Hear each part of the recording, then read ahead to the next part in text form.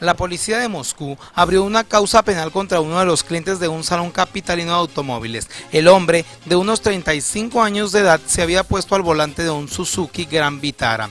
Irrumpió en el salón, chocó varios automóviles y despachos de los gerentes. Más precisamente, logró destruir cuatro Nissan, rompió escaparates y taquillas. Para sacar al hombre del coche, los guardias de seguridad tuvieron que romper sus cristales. Los daños causados por el ataque se estimaron en un millón de rublos, unos 33.500 dólares estadounidenses. Según medios locales, el agresor es un ginecólogo de profesión. Aquel día llegó al salón como un cliente. Sin embargo, los vendedores tardaron tres horas en atenderlo. El joven pasó este tiempo vagabundeando de un gerente a otro. Cuando su paciencia se agotó, empezó con sus métodos activos, según reporta una página web.